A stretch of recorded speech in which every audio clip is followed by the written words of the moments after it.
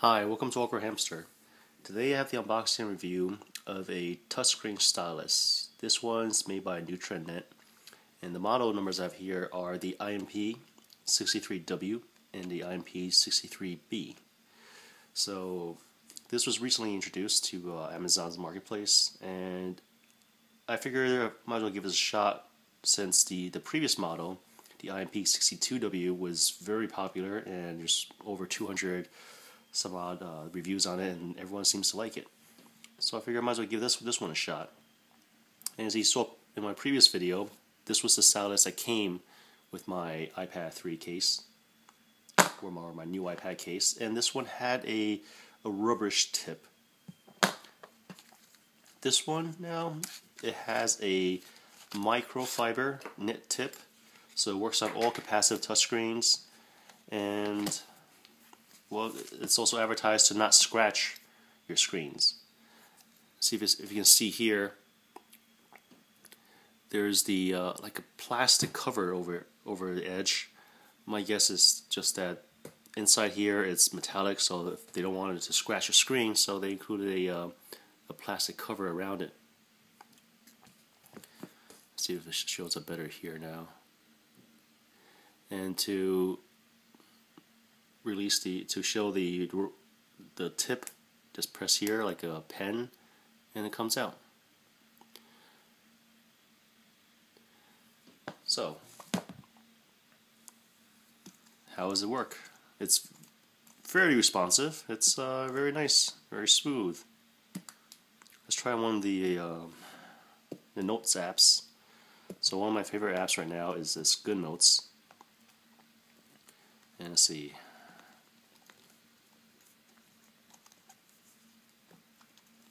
I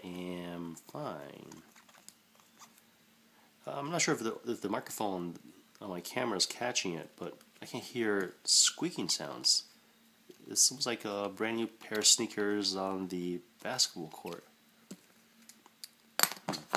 Just a second, let me try the previous one again. The one with the rubber tip, that one did not have the squeaking sounds. Hmm. So,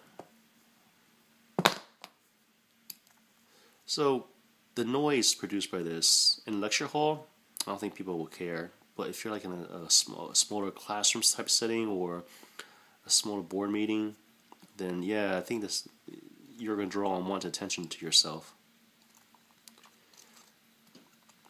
Well, I like I like the responsiveness of this product.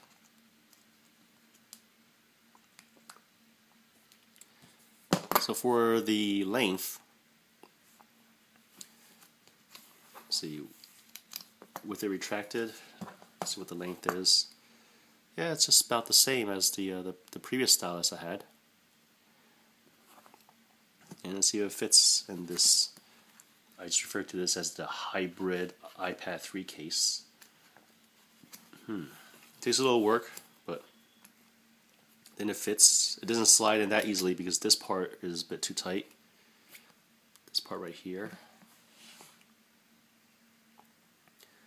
So this might be a little bit of a problem.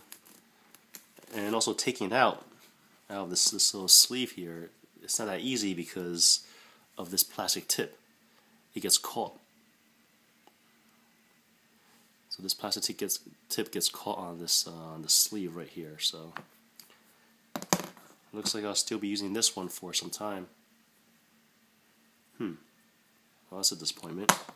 So I can see why they included this plastic piece. Turns out it comes off. And once it comes off, it exposes this metal rim. And if you just keep rubbing this metal part against the glass, eventually you will scratch it.